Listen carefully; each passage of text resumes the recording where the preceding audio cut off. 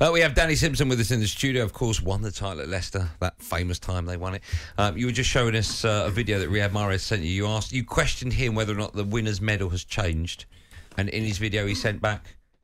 Yeah, so he, I said, "Oh, I'm sure the medal changed," and he just casually sent me a video saying, "Yes, Simo, but there's our medal."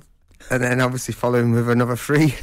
Beautiful. so he's casually got four medals and all these, and all these All trophies awards. and his, That's his great. PFA players. Should we do? Should, let's talk Leicester now. I'm dying to talk Yeah, Leicester. let's talk Leicester. Um, did you feel at the beginning of the season? It's easier to look back, look back now, but did you feel for one moment there was just something?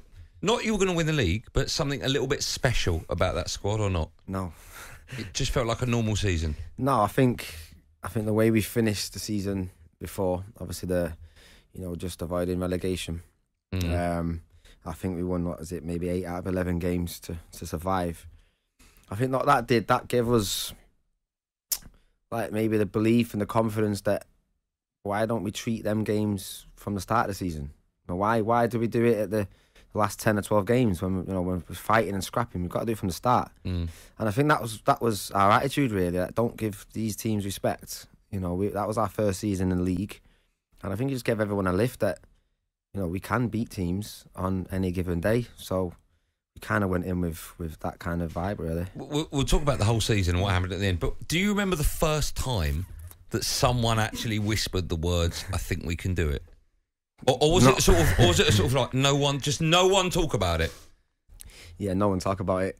You couldn't even. was There, yeah, there must have been a moment where you sort of turned to Kasper Schmeichel and went, "I think we've got a chance here." I think no, Nah, too scared. really. Yeah, it was. We let you know Claudio deal with the media, and we just. I know it's this cliche. I'll take the next game, but it literally was like, you know, what the noise was outside, and we were just trying to focus on the next game. I know it's what everyone says. It was when you look back at the team. I'm trying to think of the team now. So it's Schmeichel, you, Huth, Morgan, Fuchs, Yeah. Drinkwater, N'Golo, Yep. Mahrez, Albrighton, Don't Vardy, Vardy. Vardy. Okazaki would play would play yeah. as well. Was that was that probably the best the best eleven? I mean, there was one or two others that would come in and out, but it was almost like every week, Yeah. same team played, same team played, same team played. That's what it felt like. Was that was that how it was? Yeah, and it felt like it was the same subs as well. Was it the same, On the same the minute. Same minute. Like Honestly, an alarm went off. Shinji Yeah. Okazaki, 60 minutes, he's coming off me. Listen, he's ran, you know, he's ran himself into the ground. Like, And he that's- did- and he would. worked His socks And off, he you would. know, and it was like 60 minutes, right? He's off. Yeah. Uh, Ulloa on. Um, you know, Leonardo Ulloa, who played a massive part. Yes. Um, Jeffrey Schlupp would come on. Schlepper, that's With a bit of pace. That's right. That's right. yeah. Um, and Andy King would come on King just to maybe middle of the park, shore yeah. things up in midfield. It Yeah. was they were the subs really. Um, but yeah, we every it was good because I think everyone, you know, sometimes when a sort of player's not in the team, and he's obviously upset and whatever, and it can upset the group. Everyone kind of knew what was what, Right. and everyone, even the subs, knew. They expected to be on the bench, Everyone and you knew. expected Vardy expected Yeah. to play, and that's the way. It, Yeah, yeah, and yeah. You had some in- incredibly special players in that side, right? Let's talk about N'Golo Kante.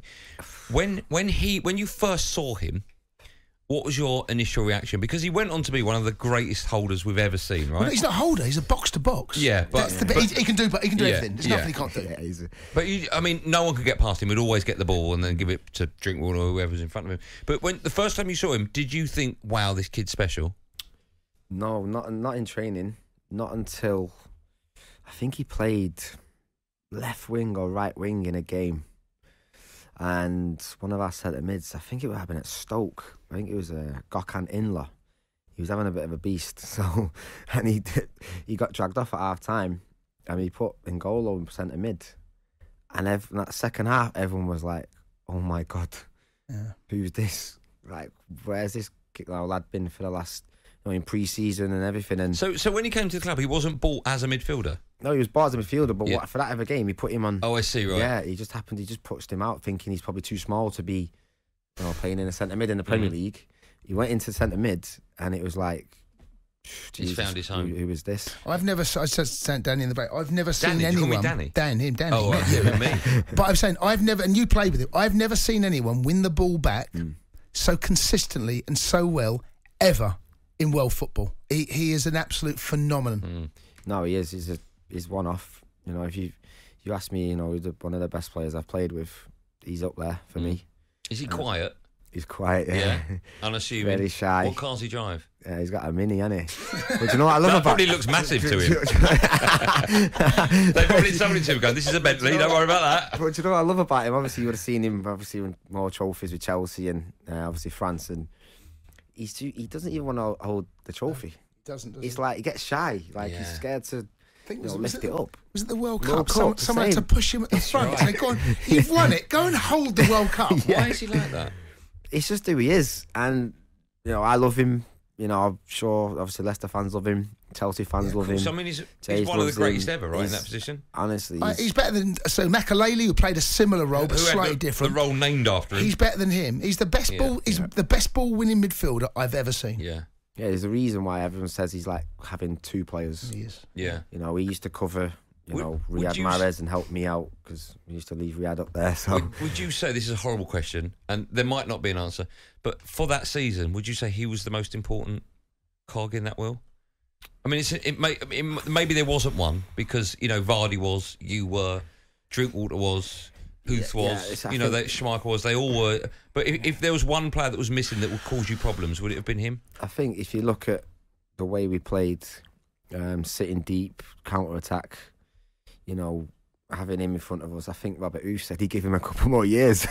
Yeah, you know, because he's sat in Yeah, front and he's just sweeping everything up. So I think for us, obviously, he can play anyway, as you said. Mm. But I think for us, sit, sat in deep, teams trying to break us down, the way he wins the ball back, as we just mentioned, is Ridiculous. you know, I've never seen anything like it. And then we could counter attack with Riyad and, and obviously Please, Vards. please tell me you've still got a WhatsApp group with all the winners from that season in it. Um, not all, but we've still got quite a big. Have you? Yeah, yeah. Okay, what's it called? Um, in fact, what is it called? I'll Have get it up actually. Yeah, So we've got Harry in there, Ben Chilwell still in there. Or even people that have left. yeah, Yeah, we're still all nice. keeping contact. I actually don't think I can repeat what it's called. Oh, it's not called like the winners or something like that. It's got a comedy no, no, name. no. Actually, no, I can't repeat what it's called. but you can show me in the break. Yeah, I'll Okay. show you. All right. Can we get anyone on? Who- Is there, is there anyone we can phone Yeah, now? if you phone someone on your Who can you phone I tell you now? what, have a think in this break, right? Who's most Who's like, like- the biggest name that's most likely to pick up? All right. Right, I'll have a think. Okay, have a think. I'd love to ring and go though. Would he pick it up? Probably won't with these. I don't know. You know better I'll than we think. do. We'll have a think. We'll see. We'll see. All right, we'll try and go to Kante when we come back. Yeah. No, we'll see. How embarrassing if they don't. No one picks it up. Danny who? I know, yeah. Sorry, I haven't got your number. Yeah. Who is this?